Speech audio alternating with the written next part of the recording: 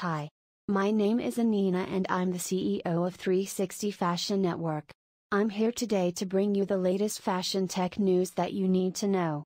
Before we start, if you want to receive this news roundup regularly, then hit that like button and smash that follow as we will be bringing you this new every week to keep you in the know of the top stories we think are important.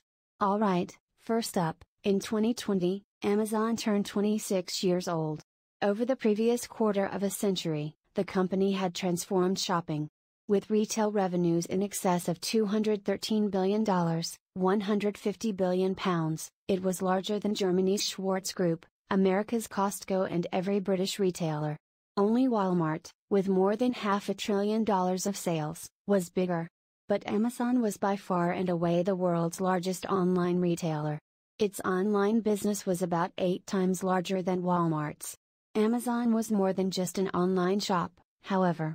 Its huge businesses in areas such as cloud computing, logistics, media and hardware added a further $172 billion in sales. News source, Wired, China's technology giants are playing down their links to non fungible tokens amid investor concern that this booming area of the crypto universe may become the next target of regulators. News source, Bloomberg, Logic Broker, a Connecticut based e commerce company focused on cloud fulfillment, secured a $135 million growth round from K1 Investment Management. Its software provides dropship and marketplace automation capabilities to brands, retailers, suppliers, and third party logistics providers. As CEO Payman Zamani explained it, dropship is a way that packages get from the seller to the buyer. News source, TechCrunch, excited to dive into the rabbit hole that is NFTs, Evelyn Mora recommends brands create a digital strategy that explores how they can use digital tools to curate experiences and ultimately connect digital and physical.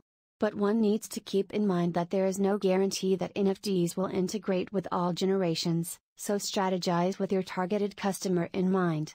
News source, Fashionista, if your primary concern is the damaging impact of cryptocurrency mining, Seek out cryptocurrencies that don't operate on the POW, proof of work, model, which is highly energy intensive to run and has relatively slow throughput. Choose a more sustainable blockchain system like the POA, proof of authority, or POS, proof of stake, instead.